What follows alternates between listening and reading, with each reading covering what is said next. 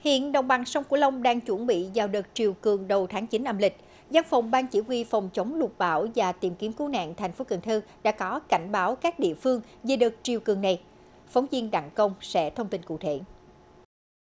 Sở dĩ à, thành phố Cần Thơ phải ra thông báo như vậy là bởi vì à, đợt triều cường này, đỉnh triều có thể à, đạt mức báo động 3. Lúc đó thì mực nước ở trên sông sẽ lên ở mức 1m95 đến 2m chứ không phải thấp như là bây giờ.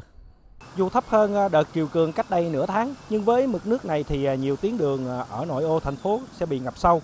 Đó là chưa kể vào những cái ngày có chiều cường thì thành phố Cần Thơ sẽ có những cái cơn mưa lớn bất chợt. Việc đi lại buôn bán của người dân trong nội ô thành phố chắc chắn là sẽ bị ảnh hưởng.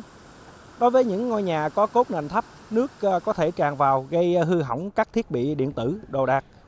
Riêng khu vực còn ở giữa sông Hậu Nước dâng cao có thể à, làm vỡ bờ bao, ảnh hưởng đến các ao nuôi cá, vườn rau của bà con. Thậm chí là những cánh đồng đang thu hoạch lúa thu đông cũng có thể bị ảnh hưởng nếu bà con không gia cố kỹ các bờ bao. Dự báo đỉnh của à, đợt triều cường lần này sẽ rơi vào ngày 27 hoặc là 28 tháng 9. Đó cũng là những cái ngày à, đầu tuần học sinh, sinh viên, công nhân viên chức đi làm chắc chắn là sẽ bị ảnh hưởng nhất định khi đi qua những cái tuyến đường bị ngập nước.